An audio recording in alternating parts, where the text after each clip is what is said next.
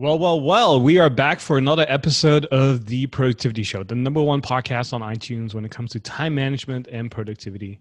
And today with me, I was supposed to have a special lady. Her name is Marmel. Some of you might know her, but today I guess I have to settle for my original co host, Brooks Duncan. How are you today, buddy? I know what a downgrade. Uh, as for how I am, uh, when I woke up, I was fine. Uh, however, I read an article this morning that says my exact age, down to like the 0.2 of a year, is the lowest level of happiness in your entire life. So I'm at peak misery right now. So when I woke up, I was feeling fine, but after reading that, uh, I'm feeling kind of depressed. So I, I need I need this uh, I need this episode to get me uh, get me re-energized after that. I hope I can contribute to some to some degree and to help you uh, become a little happier. Because as I always like to say, happy people are productive people. So the more happiness we have, the better we are, or the better off we are. So. Um, for those who don't know, I'm Thanh Pham, founder and CEO of Asian Efficiency, where we help people become more productive at work and in life. And my co-host Brooks Duncan here is the COO of Asian Efficiency. And today we're going to be talking about five rituals to help you get more energy in your life. But before we start dive into the content, uh, one of the things we always like to do on the productivity show is share some of our favorite productivity resources as of lately. So, uh, Brooks, I know you have three of them here. Do you want to share them in 90 seconds or less? All right. So, number one resource is the Save to Pocket browser extension. Uh, I personally use Instapaper, which is a similar sort of service, but either way it works. Uh, if you have things that you come across that you want to read later, like maybe I should have read that article a bit later, not first thing in the morning, as Phil says in the chat, uh, what you can do is you can install a little browser extension uh, in Chrome or Firefox, or in some cases Safari. You just click it and it saves it for you to read later. Uh, so that is number one, the Save to Pocket or Save to Instapaper browser extension. Number two is a wearable wellness device called the Apollo Neuro that uh, I don't haven't personally used, but a lot of I've heard good things about. And it basically what it is, it's a wellness device for stress management. So what it does is it uses little gentle vibrations to help the body de-stress naturally. So if you're somebody who your feels your stress level is a little higher than ideal, uh, maybe check out that Apollo Neuro. And number three is an oldie but a goodie. It's called Flux, and it's an app for Mac or Windows or Linux, basically your computer. And what it will do is it you can set it to automatically adjust the color and temperature of the of the light on your monitor. Uh, we've been recommending this tool for a lot, so we thought we'd revisit it. And yeah, Mac and to a certain extent Windows has some of that built in, but Flux gives you the most control of making it so that as you're working throughout the day, the color and the temperature of the light coming blasting out of your monitor into your eyeballs is slightly changed, so it makes it a more um, pleasant and less straining uh, environment to work from. So that's Flux. Awesome. Well, we will have links to all of that in the show notes. So don't worry if you missed something. Just go to theproductivityshow.com slash 325 or just swipe down if you're listening to us in a podcast app. So Today, we're going to be talking about rituals to help you increase your energy. And for those of you who are listening, if you're wondering if this is right for you, if you're someone who feels like they're lacking energy in their life and you're not making a lot of progress towards your goals, and you feel like you're just not getting a lot of stuff done and you procrastinate a lot, those are oftentimes symptoms of having very little energy. Uh, if you are someone who has difficulty starting a habit or making habits stick, then I think you're going to find this episode really helpful as well because we're going to be talking about some some of the material around habit formation, and so there's some good reminders there, and also some new material for you here as well. And if you're someone who uh, already has a lot of habits and rituals in their life, and maybe you lost track of some of them, I think you're going to learn a lot in this episode as well. Uh, before we start, I want to remind people that we recently launched TPS Plus, which is the premium version of our podcast here, The Productivity Show.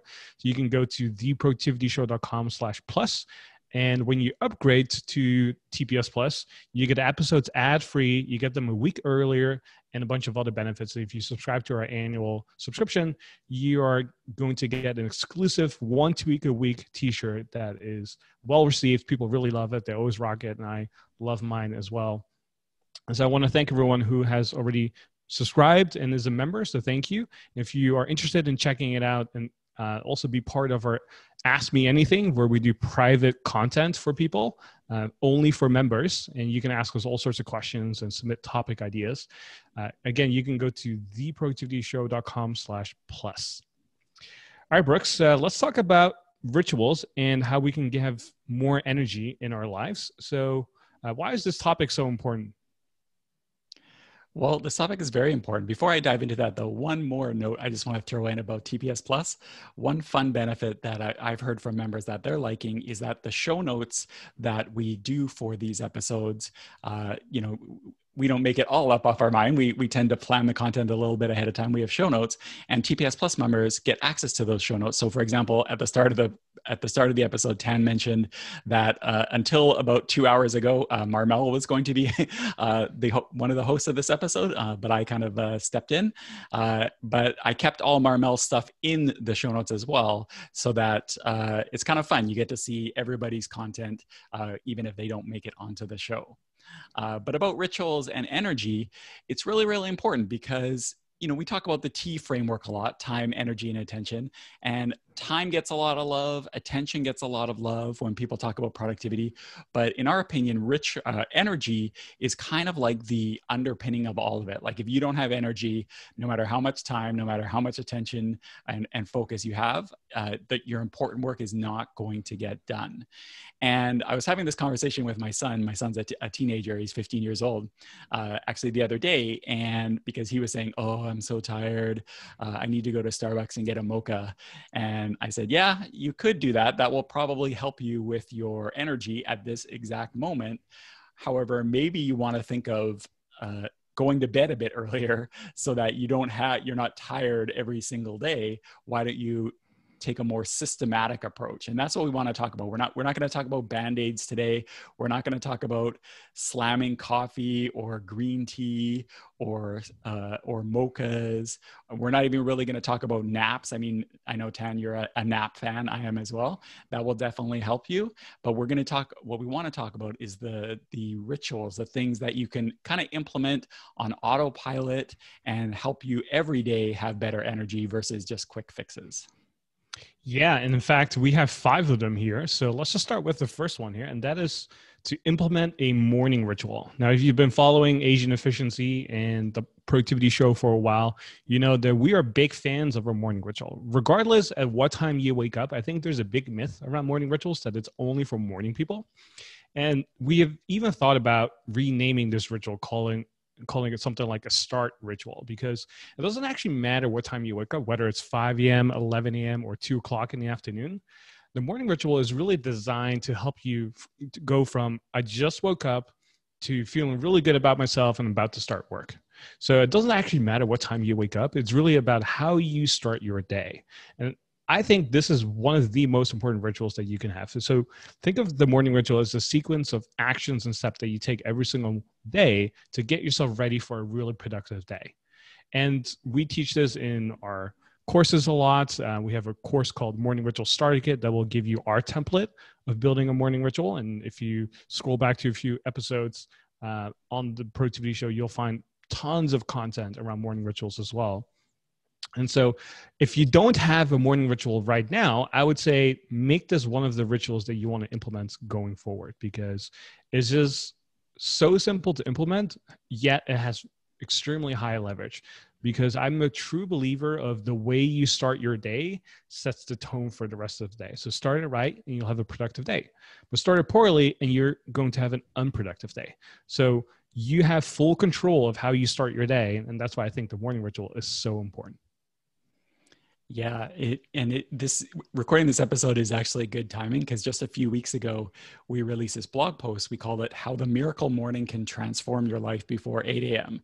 Uh, and I was really happy. Uh, our, our uh, friend and colleague Steve uh, wrote it, and I was really uh, interested and thankful when I read it because the the Miracle Morning, which is a book by Hal Elrod, uh, that actually really made a humongous difference for me when I was looking to improve my morning ritual. So I had the morning ritual starter kit, and I also had that book, and the the framework that both of these things together gives you, uh, however you want to do it, whether you go through the morning ritual starter kit or you go through the the savers that the blog that our blog post takes you through, which is stands for silence, affirmations, visualization exercise, reading, and scribing, which means journaling, you know, however you want to do it, implementing that kind of framework for me in the morning really really helped me with my energy throughout the day because it made stuff like uh, some of the things we're going to talk about in a moment uh, it made it really ritualized and i was just like automatically going through it every day. I wasn't trying to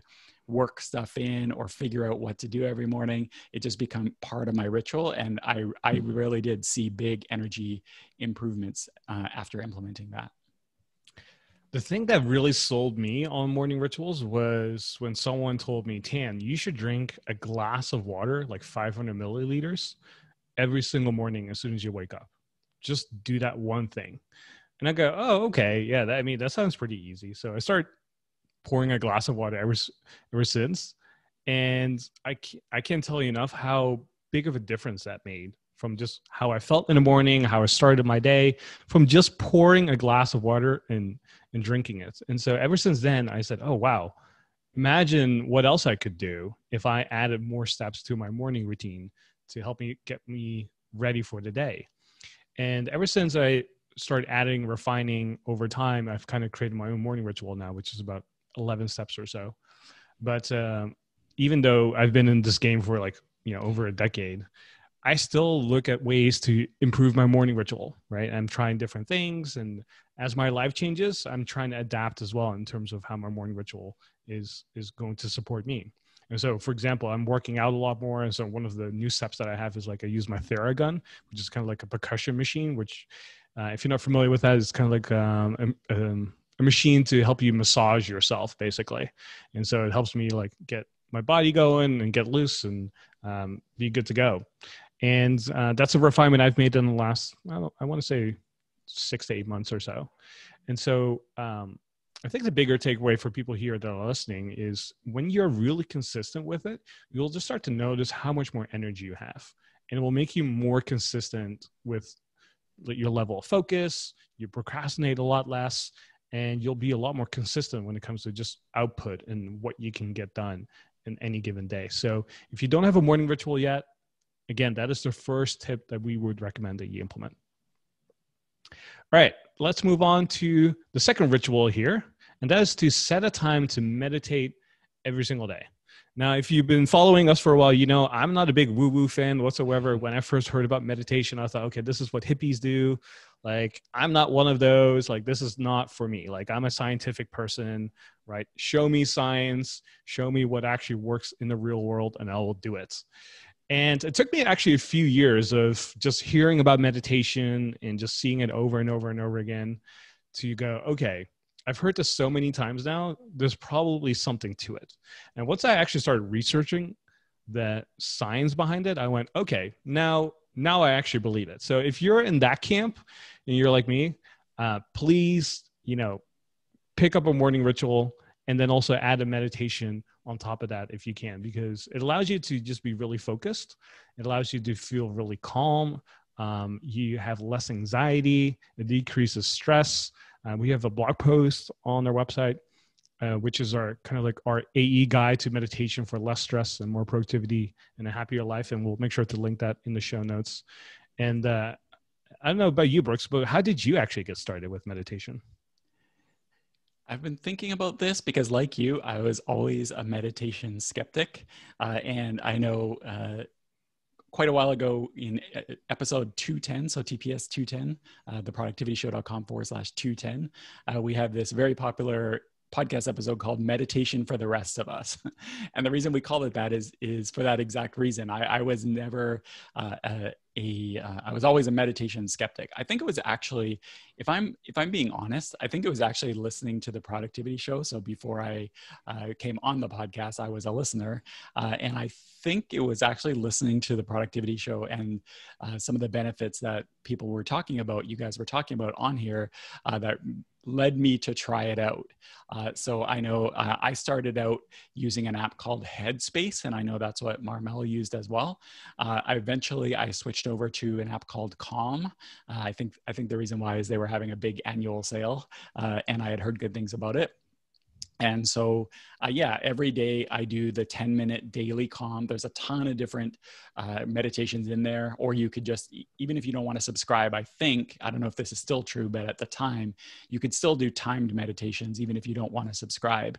Uh, I do subscribe, so I do the daily calm every single day. Uh, and yeah, it was listening to the productivity show that got me into it. And like I said earlier, I worked it into my morning ritual. The, these tips that we're going to be giving, giving you kind of really do tie tie together because uh, it's not really enough just to say um, meditate. Uh, it's important, of course, but it's tying it into that morning ritual or daily ritual. Maybe you want to do it at night, however works for you. Um, but uh, tying it into that ritual so that it becomes an automatic part of your day. And I know for me, I do it right after exercising and reading and uh, usually works out right it's pretty quickly before we do our morning huddle here at Asian Efficiency uh, and i know like i uh, I open my eyes when it's done. I turn on the light and I walk over to my computer and I just have this like clarity and energy and I'm ready to go with whatever the rest of the day is going to is going to bring. Um, how about you? How do you how do you do your meditation? I've experimented a lot in terms of just when to do it um, and then also how long. So, for example, I used to do 20 minutes back in the day. And I mean, I think it's beneficial, but I feel like the sweet spot for me is around 10 minutes. If I can do 10 minutes a day, I'm good to go. And I first started doing it as part of my morning ritual. And then I kind of switched over and started to experiment by doing it midday as a break to kind of like recenter myself and i find that that has been really helpful for me. So now i mostly do it as a midday break. In fact right before this podcast um, i actually started meditating for about 10 minutes. I use calm as well and I use their daily calm to kind of like get back on track. And we always record this at 3 p.m. Central. So I was looking at my phone and it said 241. I go, oh, I got to do my hmm. 10 minute meditation before I hop online and discuss uh, our notes today with Brooks. So I did a quick 10 minute meditation and uh, I feel really good and really calm and good to go. And so if you're someone who hasn't picked up a meditation habit yet, um, it's really easy to pick up as a ritual. So I find that the app calm or headspace makes it a little easier for you to adjust and kind of get get into it rather than saying hey um, let me just get started. Let me just do some breathing exercises and do some more research. I think if you just install the app most of the research has been done already for you. So all you have to do is just focus on listening to the meditation and just following along. So i find that really helpful and i would recommend that for most people as well. And so um, actually we're recording this in front of uh, TPS Plus members in the dojo, and Emily said she said I completely agree, Thanh. I also thought meditation was a hippie trippy and not for me. I've been meditating in the morning before I go to the office for almost two years. And my days run much smoother now. So those are some of the things that are possible. So if you're a skeptic like me and Brooks, um, maybe we just have to continue to repeat this. But uh, if you've learned from us before and implement stuff from us and found it helpful, I'm pretty sure a meditation habit or ritual will make that big difference as well, like it has done for us. So go pick that up. Again, that is our second ritual that we recommend here, and that is meditation. Number three, I know what you're going to think, and I know we've talked about this before, but do we have to? Do we have to talk about this? yes, we do have to talk about this. and that is no, it's not eating your frog. I know we talk mm-hmm. about that a lot. But number three today is to have a regular exercise routine. Okay. I, I'm not going to hammer home the benefits of exercise that makes you feel good, like releases endorphins. It's good for your brain. It's good for aging, right? There's all sorts of healthy benefits. Like if you just knew about the benefits of something and that was good enough for you to stick to something, then we would all be, you know, in shape, look like we have six packs, be super toned, and you know be good looking all the time, but we're not, right? At least some of us aren't. but one thing that I think you really want to consider is this is probably one of the hardest rituals to pick up and also the easiest to give up as well. Um, so I want to say that one more time. Making exercise a regular thing is probably the hardest to pick up and the easiest to give up. And so, out of all the rituals that we talk about today, this is probably the one that requires like the most energy, the most focus, the most commitment, um, because it does require your body, mind, and soul to kind of like make this part of your life. And so, this is where you, it does require a little bit more planning, right? It does require a little bit more strategy. It does require a little bit more of, okay, what works for me? But uh, once you do pick it up, I do think it makes such a big difference for my personal life. And also, I'm sure sure for you, Brooks, as well, who just recently started Orange Theory twice a week. I uh, have to give some claps here for you, Brooks, for for doing that because I know that's not easy. Yeah, I think. Uh, uh, long story short, Orange Theory is a is a, a, gym that just opened up in my neighborhood, and I actually learned about it from Thanh because he, uh, I don't know if you still do, but at one time he went to it in Austin and would do it often when I would be down there visiting. Uh, and so one opened in my neighborhood. So I figure I had no excuse. So I think the first message I sent to you through Slack DM after doing my first class was uh, basically filmed with or filled with uh, skull emojis. and I'm not going to say that uh, doing that gave me a lot of energy that day. However, by the the third time, uh, it definitely uh, it definitely had a, a big payoff for me because I find yeah, it's so true what you say about about how it's the the hardest to start and the easiest to let go. And i also find that there's kind of two types of people naturally anyway. Uh, there's like natural exercisers. So for example my wife um, if she doesn't run or do some sort of exercise for more than like two days in a row she starts feeling like really gross and stressed out. And she'll uh, she just starts going like crawling the walls. Like she's a natural exerciser. She always needs to be doing it.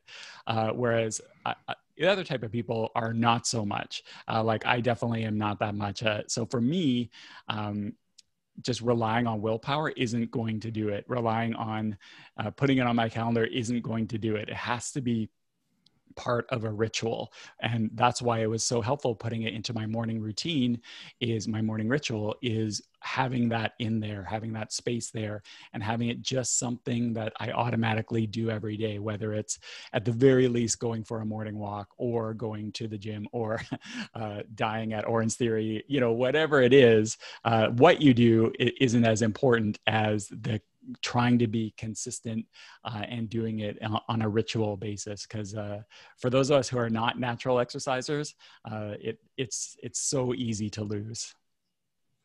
I'm in that camp as well. I'm not a naturally exerciser myself. I, I definitely for example need um, accountability to make that happen. That's why i have a personal trainer to hold me accountable to make sure i show up and actually do the work and then also uh, the reason I joined Orange Theory is because I, I mean, I hate and hate is a strong word, but I absolutely hate the treadmill and any sort of cardio exercise.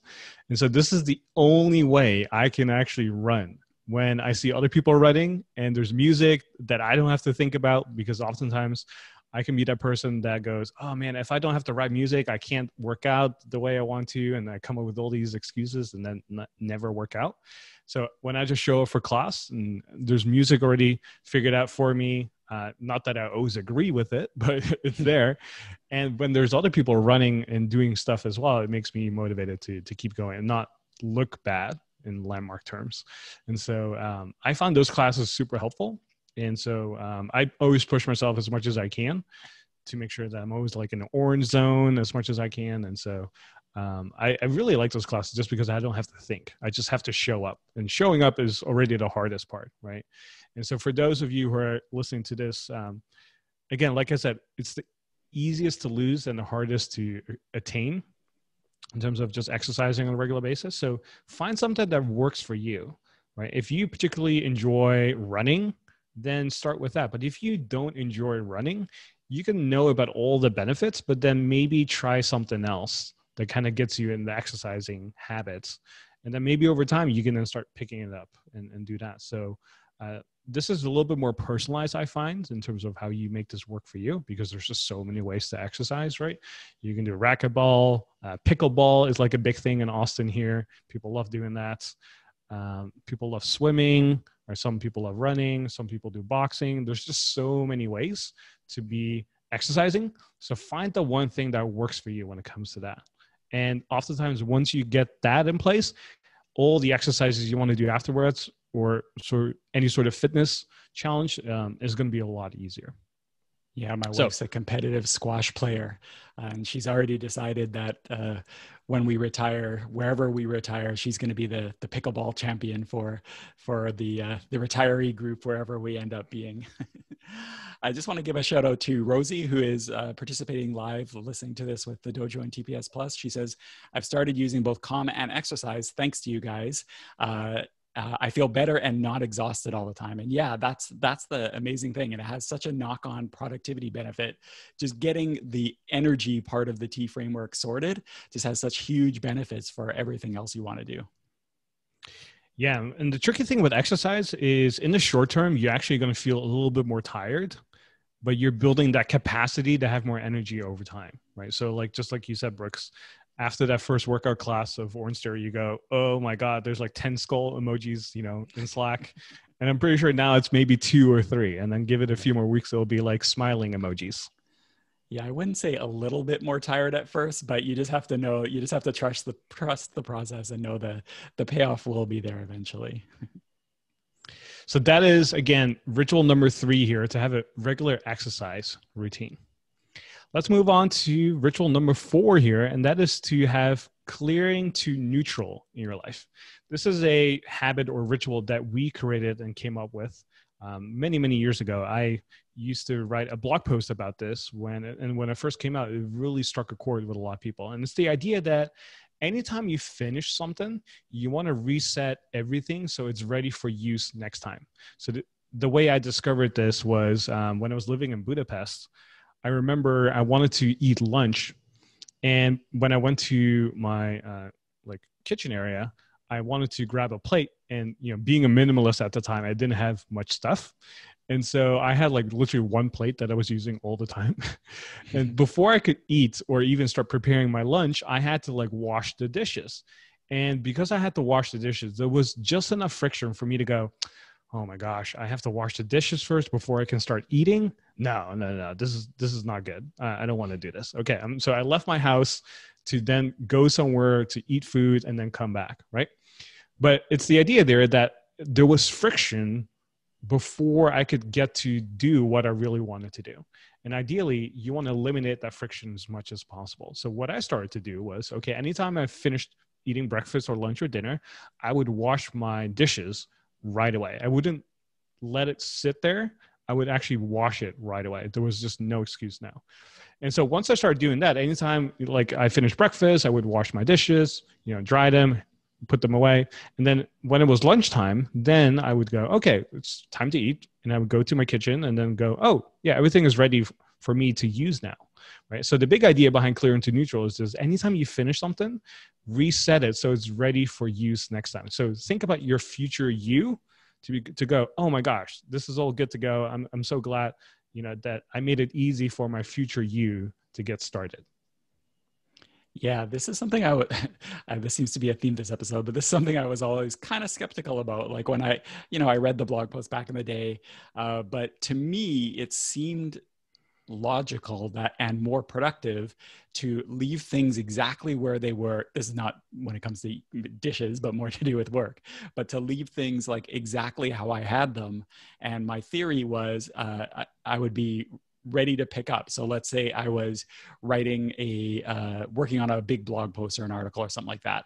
I'd like have my text editor up. I'd have the different folders up. Uh, or maybe i would uh, you know have apps and tabs open, uh, like leave it on my computer how I was have it and then shut down for the day. Um, and to me, that just seemed more logical to be able to pick it up. But what I found actually is uh, by trying it out, it's actually not the best way to do it. It is actually better to start from a clear space when you get going in the morning or after a, whatever your work session is. Uh, because sometimes what you what you're working on at the end of the day isn't necessarily what you should be focusing on at the beginning of the day. So that's number one. Uh, and by leaving things up, you're kind of predetermining what you're going to be working on, even if it's not the best thing, or you need to then clear stuff away. And number two, there's just something about that mental reset and coming into it and getting your tools, whatever those tools happen to be, uh, and getting working versus having everything starting the day or starting your workstation all scattered. Uh, it just creates that like mental mental clutter right from the get go. Uh, so I'm a I'm a CTN convert, uh, just like I'm a meditation convert. I'm a clear to neutral convert too. And there's many ways you can implement this, and I think the big idea here is relating it back to energy is when you have stress or friction it just drains you of energy. And that's what we're trying to avoid here. And that's where clearing to neutral is so powerful because it avoids having any sort of friction first and foremost. But also if you find it draining to get started or you just like don't look forward to it whatsoever it just drains you of energy to go oh man I should really do this, but I don't feel like it. And all these excuses come up. And then procrastination is oftentimes one of the symptoms of not having energy to do the things you want to do because everything you do requires a certain level of like, you know, if you think back to your chemistry class, right, it requires a certain level of activation energy to get started. We want to make sure that activation energy is as low as possible. So we make it really easy for ourselves to get started. And that's why clearing to neutral is so powerful. So uh, ways you can implement this. And we have a blog post about this. We'll make sure to link to it in the show notes as well. But just to give you some examples, um, clear your desk anytime you start working on something and then finish off your work. Clear your desk right away, especially at the end of the day when you're leaving the office or you're done with work, so that tomorrow when you show up, you're ready to go. There's no papers laying around, right? Uh, it's just clear. There's no notes there. It's just clear and good to go. Uh, another example is anytime I finish writing, I close my apps altogether. So there's no browser open. Uh, I actually created a Keyboard Maestro, in fact. Uh, this is something you'll appreciate, Brooks. I created a Keyboard Maestro so that anytime my computer goes to sleep, it will close Chrome. And so that way, uh, I know that by the time I'm done and I put my computer to sleep, everything is just closed and I have like a, a clear screen and I'm good to go. Uh, another example is uh, I set my clothes for the next day. So knowing that, okay, um, as soon as I go to bed, right, I want to make sure I'm ready and good to go for the next day, kind of helps me beat decision fatigue a little bit, right? Which is an episode we've talked a lot about in the previous episode. If you scroll back a few episodes, you'll see that uh, topic where we discuss about decision fatigue and how you want to eliminate that as much as possible. So setting clothes for the next day is one of the, the other examples. And again, we'll have lots more in the blog post. We'll make sure to link to it in the show notes. That's so funny. I have something similar with Keyboard Maestro. Uh, I don't have it close Chrome, but I do have it quit Slack and email uh, and any of those type of distraction type things. I should do it for Chrome actually. That's a great idea. But yeah, or no, it minimizes Chrome. It doesn't close it, but it minimizes it. But Slack and email, uh, it closes as well. So I'm guaranteed if my computer goes to sleep that uh, everything's like fresh and good to go once it once it starts up. So that is number four here the clearing to neutral ritual. All right, let's move to the fifth and final one here, and that is to master your evening ritual. So, the evening ritual is kind of like the opposite of a morning ritual. So, the morning ritual helps you get started, whereas the evening ritual helps you wind down at the end of the day. So, think of it as like the things you do before you go to bed to ensure that you have a great night of sleep. And so I usually do this about an hour before I go to bed or so, depending what time I go to bed. Usually I try to be in bed by like 10 30, 11 at the latest. And so I usually start my evening ritual anywhere around nine o'clock or so. And I have like a sequence of things that I do to make sure I'm relaxed, that I'm uh, calm, that I've journaled, that I have my mind clear. Because one of the worst feelings in the world is when you go to bed feeling stressed, right? If you've ever laid in your bed with your laptop open and you're checking email before you go to bed, you're like, oh my gosh, like I can't believe there's so many emails. I have to do X, Y, and Z. I have to do this tomorrow. Like when you go to bed feeling stressed out like that, it's just you're gonna have poor sleep. You're gonna feel terrible the next day. That's not how you want to go to bed, right? So that's where an evening ritual kind of helps you power down and kind of like settle in so that you get you basically signal to your body to have a great night of sleep. This is something that i've uh, i'm definitely a case in point for this because this is something i've never needed before. Uh, i've always been uh, i think i've even talked about on the podcast before. I've always been a super sleeper. Like as soon as my head hits the pillow i'm out.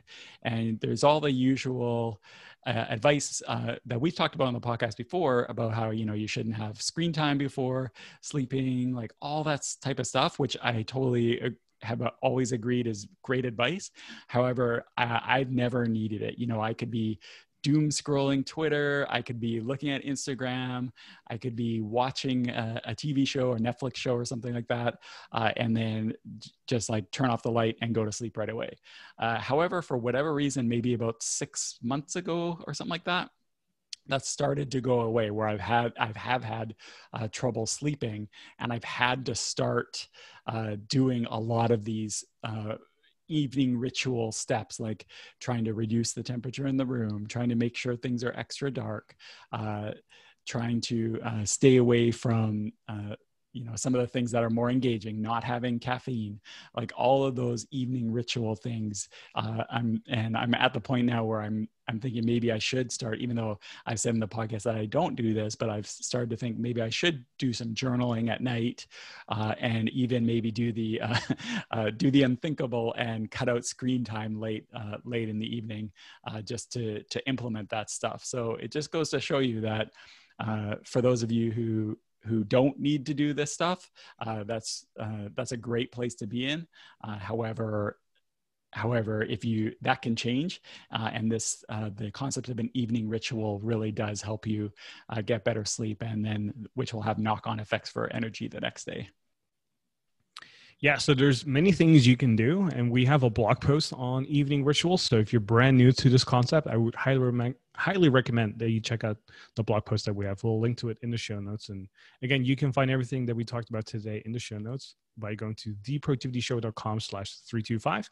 But just to give you some examples of things that I personally do is uh, I try to eliminate screen time as much as possible. So that's one thing. Uh, so as soon as like 9, 9.30 hits, uh, I try to like close work, make sure I'm not looking at my TV, not looking at my laptop or any tablet or phone. Um, the phone is definitely the hardest part, but uh, everything else I try to close out. Uh, another thing is like I lowered the temperature. So studies have shown that you sleep better and you have better quality sleep when the room temperature is pretty cold. In fact, if it's around 18 Celsius, which I believe is around 64, 63 Fahrenheit. Um, so the the colder the better, and your partner might not like it, but uh, if you want to have great sleep, then the colder the better. So that's uh, one thing. The other thing that I always like to do is um, some sort of stretching routine. So uh, getting your body fully relaxed. Um, I used to use a foam roller a lot, and I'm a big fan of that. If you have one at home, if you don't have one, definitely pick one up to kind of like stretch anything that's really tight in your body. But uh, since I have the Theragun, which is kind of like the the fancy machine to kind of like massage yourself, I, have been using that, and I haven't been using my foam roller as much. So, as you know, Brooks, I'm I'm a super lazy person. So anything I can do to make it even easier and make myself even lazier, the better. So I'm a big fan of the Theragun. All right, so that is again tip number five, and that is to master your evening ritual. So before we close out, one of the things we always like to uh, leave you with is one simple action step that you can take because everything we do at Asian Efficiency, we want to make sure that it's simple and actionable, right? We don't uh, like to talk about philosophical things as much. We want to make sure that you actually get results and implement stuff. So, for today's episode, if you made it this far, what we re- recommend that you do next is to just pick one ritual that we talked about today, right? So, whether it's an evening ritual, clearing to neutral, exercising on a regular basis, meditation, or starting with a morning ritual. pick one of the five. Don't try to do all of them. Just pick one of them and then focus on doing that for the next seven days. And we'll have links to all of the resources we talked about today in the show notes. So if you want to check it out, just go to theproductivityshow.com slash 325.